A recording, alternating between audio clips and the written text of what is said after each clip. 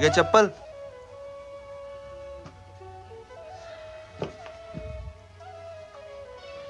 बेटा, किसी का हुलिया देख के है ना, पैरों में चप्पल देख के, उसकी औकात का अंदाज़ा नहीं लगाने का। ये भले ही चप्पल है, लेकिन पता है, ये चाबी किसकी है? अभी बताता हूँ।